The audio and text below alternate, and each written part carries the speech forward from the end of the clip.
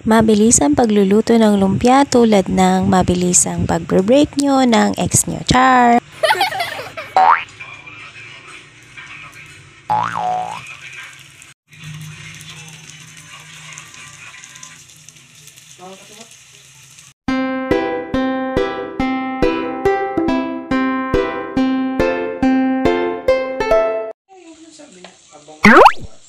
Parang ikaw lang noon.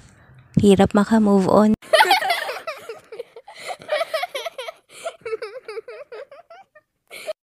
Hanggang sa napagod ka at na-realize mo, kailangan mo na talaga maka-move on.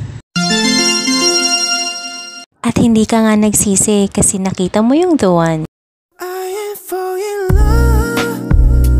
At ito na ang umpisa ng happy ending nyo.